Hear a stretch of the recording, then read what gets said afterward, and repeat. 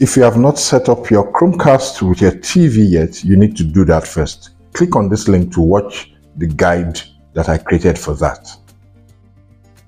The first thing you want to do is add the screencast shortcut to your Android quick settings menu. So here is how to do that. You scroll down, tap the edit icon, look for the screencast icon, tap on it add it. Yeah, that's it, added.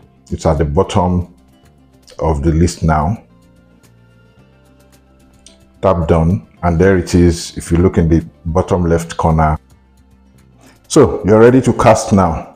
Let's go. Pull down your quick settings menu and then tap the screencast icon there next enable cast and then select the TV in this case it's the living room TV proceed with the process and you can see that the TV screen behind changes. The screen of the Android phone is now being cast to the TV.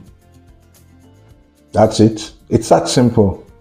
Anything you do on your Android phone screen now shows up on the TV screen until you terminate the cast session.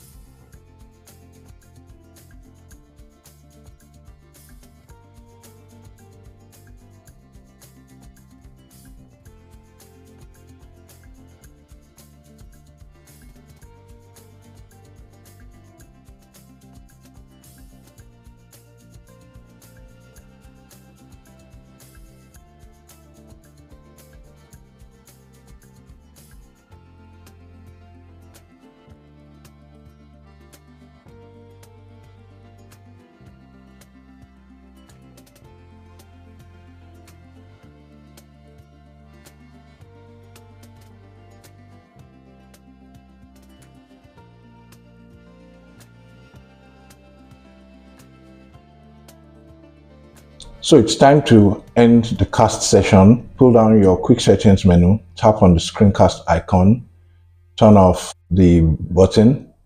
That's it.